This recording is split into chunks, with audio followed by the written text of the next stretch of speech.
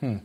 Well, from one political leader to another, Keir Starmer has been warned that he risks civil war over attempts to change the voting system for internal leadership elections in his party.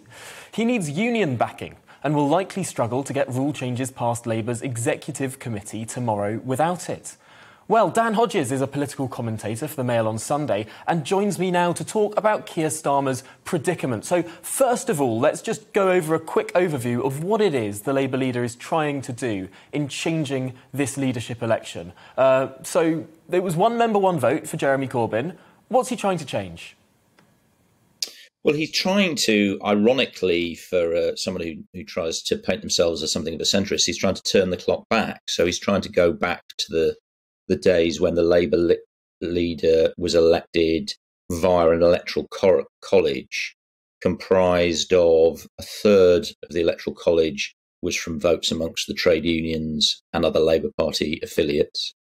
A third was comprised of the votes of ordinary Labour members, and a third was comprised of the votes of, of, of, Labour MPs. And obviously, that was the system that famously um, John Smith set aside in his own bid to define himself as a modernising leader.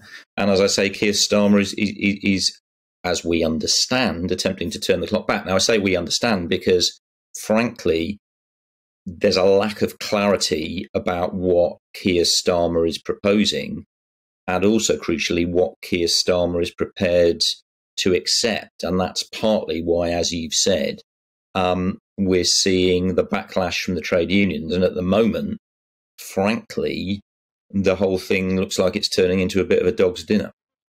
This is a bit of a theme for Keir Starmer, isn't it? I mean, when he tried to reshuffle his shadow cabinet and tried to demote Angela Rayner, he ended up giving her all of the jobs under the sun. Now he's trying to change that internal leadership election system, and it seems that he's already rowing back before it's even reached an NEC meeting. What I don't understand here is why, why are the trade unions uh, seeming to uh, be opposed to this? I mean, ultimately, it was the trade unions that massively benefited from the old system. There were huge uh, criticisms of that system for making sure that Ed Miliband won uh, over David Miliband. He won off the back of trade union votes rather than member votes. Surely the trade unions would love going back to that system.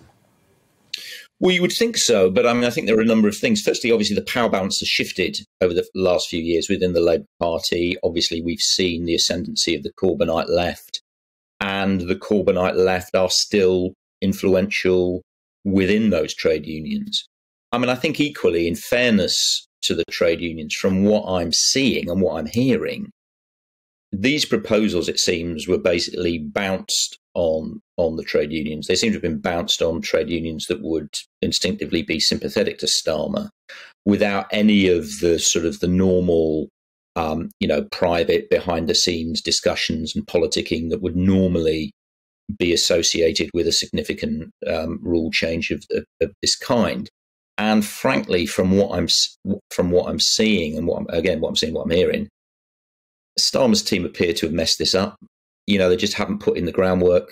They haven't actually got everybody squared off. They haven't squared off the people they need to get squared off. They don't seem to have come close to getting the people they need to be squared off.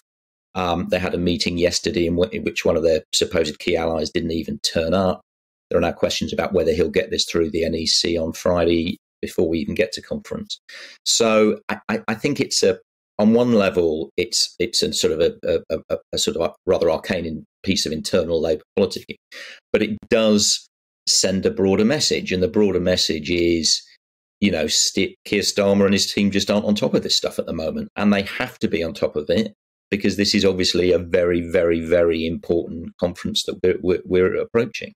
We're hearing that the General Secretary of the Unite Union, the largest trade union, is not going to bother going to Labour conference this year. We're hearing messes around procedure like this, probably a big spat at the NEC tomorrow. Has Keir Starmer spent too much time writing a 14,000 word essay and not enough time trying to work out how to smoothly run his own party? Well, I mean, I, again, I'm slightly at a loss to understand what he thought he was trying to achieve with his 14,000 word essay. I mean, as I said this morning, I think I think the most significant thing about it is that Keir Starmer, for some reason, thought that, that, that a fourteen thousand word essay for the Fabians was the best way of starting to set out his stall to the Red Wall and, and, and the country.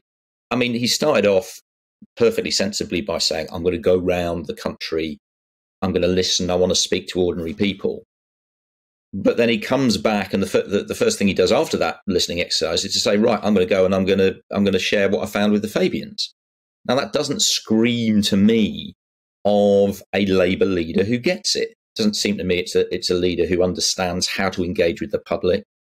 Fabian pamphlets may have cut the mustard in the 1930s. They're not going to cut it in the 2020s.